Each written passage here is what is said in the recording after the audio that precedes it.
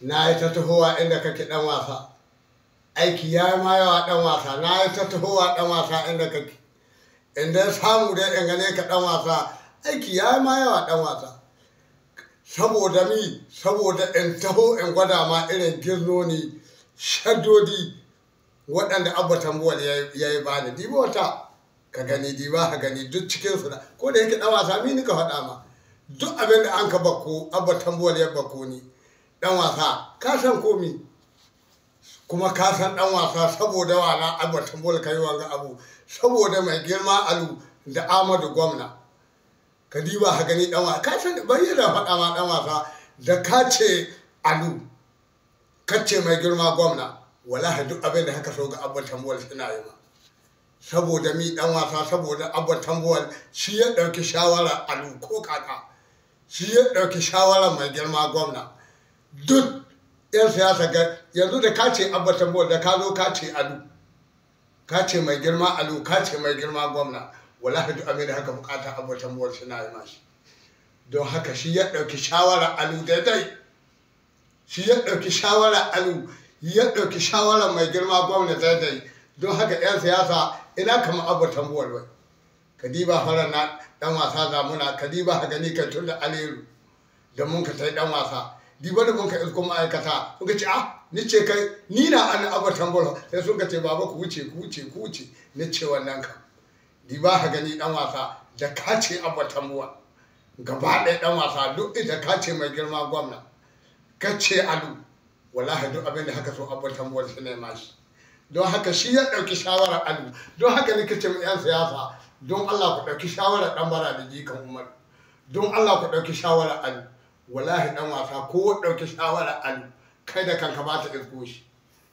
Haba 'yan siyasa wani abba tambuwar kawa jama'a ya ɗauki shawarar alu ɗan wasa inda 'yan siyasa sun ɗauki shawarar alu da Allah an natu wai a Allah ayi talaka kai da kanka ta isko shi. Wallahi ba ta isko shi. A samu mutum mai yan siyasa sun sani wallahi. Ina gargaɗi gare ku yan siyasa don Allah duk wanda ta dabirce ma ya rasa wani zai don Allah ya zo wurin alu ce baba alu mi an mahita. Baba mi an mahita ka ji wanda nake ciki.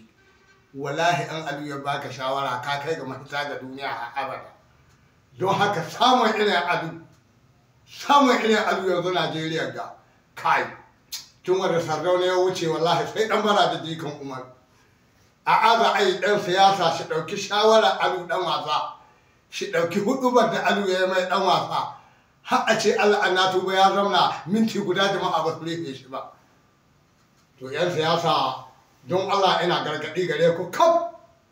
Duk wanda ya abu ya dabirce ma to don Allah ka ji kuma ya ishe ko inda baba alu ya ce baba don Allah har ka ga ta dabirce min baba alu ya ake ciki ka ji wadda nake ciki. Ko ko hizo inda Ahmadun alu ya ce baba mai girma gwamna manya dan manya ka ji wadda nake ciki kaka za a ka gani wallahi in mahita ba ka samu mahita ba nan da nan. Don haka abba tambuwal ya ɗauki shawarar alu wallahi. Ka ba ha gani duk sallah duk sallah dan wasa di ba ka gani. Gaba gare ka wallahi aka zo in abba tambuwal ya ce a buɗe mai shago in rungumo shaddodi waɗanda nika so. In ma rungumo ya ce ya ce ina shugaban maroƙan apc mai alu kirari ni ce gani abba tambuwal. Ai gaba gare ka dan wasa ne zaburo da ƙarfi.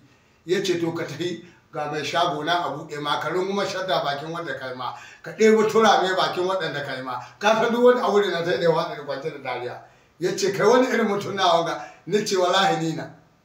Ka sani ya ce in kwato ma mata na turame da yan uwa. Ya ce in kwaso shaddo di bakin na haka ne wagga ɗan wasa guda nawa an ka bako ka kawo min. Eh? To in ba abu tambuwar ba wadda har ya alu duniya ga yanzu daɗi cikin 'yan siyasa. Don haka abba tambuwal ya ɗau halin alu wallahi. Ya ɗauki shawarar ɗan bala da jikan umaru. Yan siyasa don allah ku ɗauki shawarar alu ga duniya ku ji daɗi. Shi alu ba wai dole aje ba shi ka a'a. Alu a'a wallah baka taba zuwa gidan alu ba ka rasa. Ka diba ha gani ɗan wasa.